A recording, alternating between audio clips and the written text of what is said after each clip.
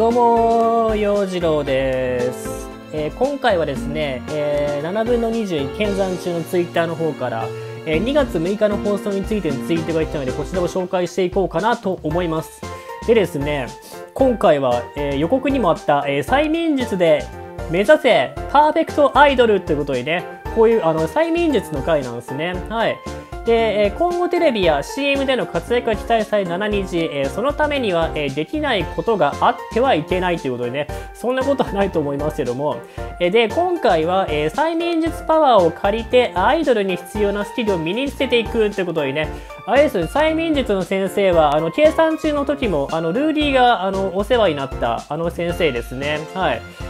あの時はあのハーパーの星野さんと一緒になんか催眠術かけられてなんかなんかムカデでしたっけなんかすごくワーム状に気持ち悪い虫をなんか触っててうんなんか本当に催眠術ってすごいなと思ったんですけどもあと全然なんかお化け屋敷にもね普通に入れてましたからね、えー、ルーディーといえばまあ純ちゃんといえばえー、富士急での第5級地点とかね、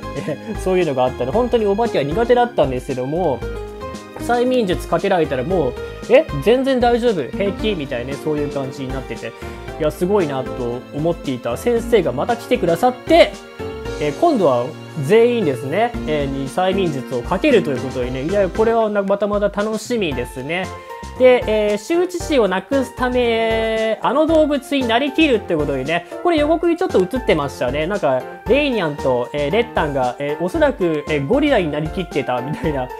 すごく、それはそれでね、めちゃめちゃ可愛かったですけども、うん、なんか今回も、えー、カオスな匂いがしますね。あとなんか予告でちょっと、あの、鈴花萌え号泣みたいな感じになってたんで、まあそこら辺もね、また萌えちゃんが輝くしあの回なのかなと思っております。はい、まあ明日の放送ですね、本当に、えー、楽しみに、えー、待っております。